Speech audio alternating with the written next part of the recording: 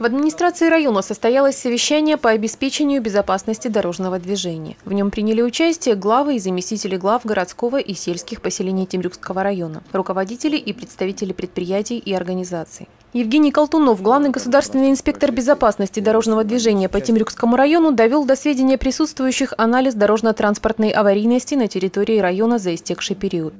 На территории района по итогам пяти месяцев у нас допущено 53 дорожно-транспортных происшествия, повлекших за собой гибель и ранения участников дорожного движения. Это на уровне прошлого года.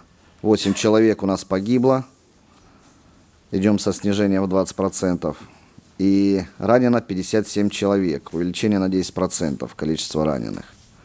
Между тем, остается тревожная ситуация с э, дорожно-транспортными происшествиями с участием детей – у нас идет рост на 40% по всем показателям, к сожалению.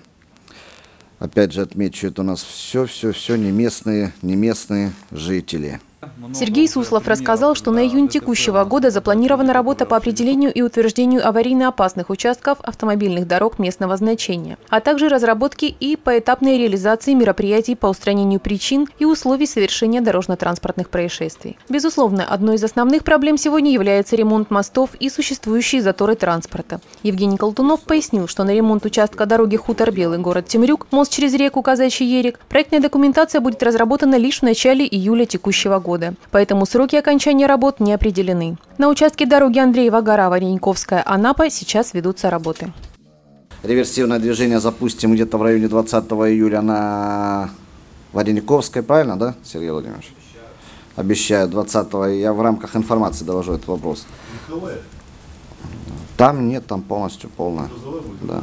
И грузовой же, правильно? Ну, в, ре, в Реверсивка полностью июля.